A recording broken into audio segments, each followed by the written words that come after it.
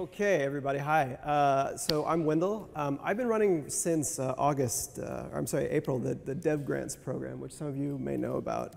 Um, this was uh, basically a program to kind of give some funding to projects on the side that weren't necessarily core, core development, but maybe actually quite related to it.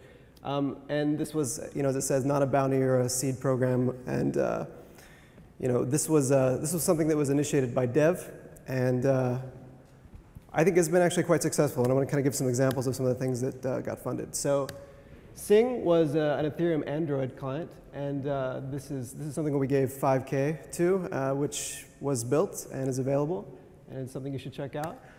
Um, ETH Embedded, some of you guys may have used this. This is actually a tool and a, a tool set for actually having Ethereum on embedded devices. So we're talking about Raspberry, BeagleBone, things like that.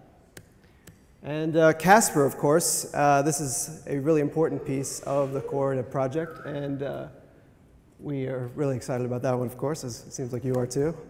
And uh, MetaMask as well. So uh, MetaMask, you guys probably saw Kumavis' presentation. Um, this is a very exciting, this is a really exciting development because basically, you know, this is probably how most people will access dApps for, for quite some time.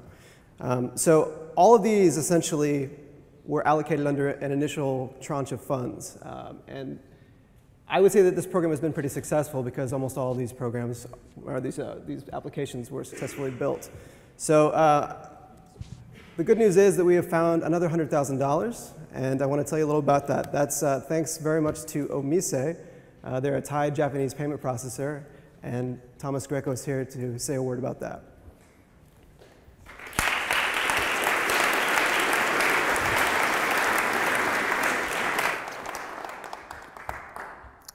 So Omise is a fintech company offering payment and value transfer services in the Asia Pacific region. Our offices are in Thailand and Japan. At Omise, we believe that technology is a common good and should be accessible by all people, especially technologies that have strong impact on social well-being.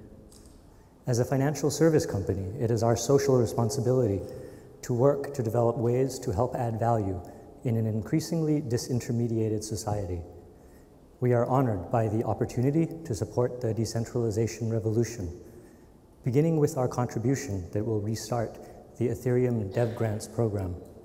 We call on all other organizations, please join us to help fund this work on open standards that are for public benefit.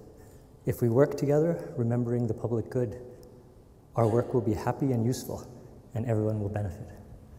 Thank you very much to all Ethereum developers, volunteers, and sponsor companies for making our contribution possible.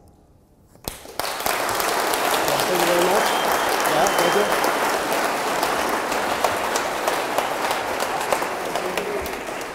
Okay, so uh, one of the things, so uh, the last slide was actually contact information. So if you guys have an idea or there's something that you want to apply with, please just write to grants at ethereum.org or check us out at uh, Twitter at devgrants. So Thanks very much. That's it.